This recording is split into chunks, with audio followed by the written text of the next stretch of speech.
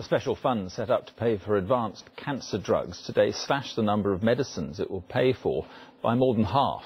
NHS England is dropping 16 of the 31 drugs on its list. Cancer charities are calling it a hammer blow. Nina Nannar has more. It's a subject which could not be more emotive, yet much of it comes down to cold hard cash, the cost of extending a life. Passionate about travelling, Larry Rees says the groundbreaking drug Abraxane, which he has been on for the past three months, has kept him alive, fit and active.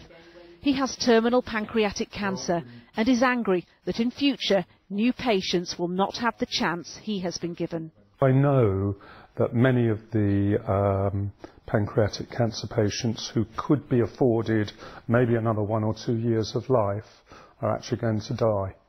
We're switching them off it's goodbye. They, were, they haven't got anything else on offer. And it's time that we actually dealt with some of these issues um, because this is life and death.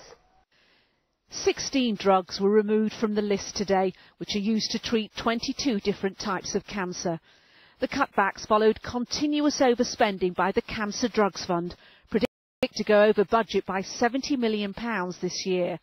But health charities are now warning that more than 5,000 patients could miss out on treatment.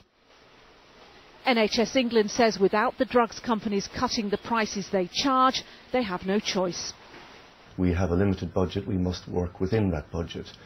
We, were in, we are in danger of exceeding that budget by millions of pounds, and every million of pounds that is used in the cancer drug funds means we don't have that million of pounds available for other cancer treatments Larry Rees agrees with critics who argue for a new system for evaluating cancer treatments, but he is just grateful to be facing a future at all, however long that may be.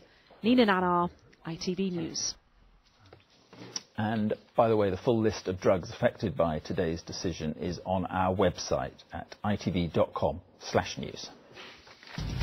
Still to come, a first look at tomorrow's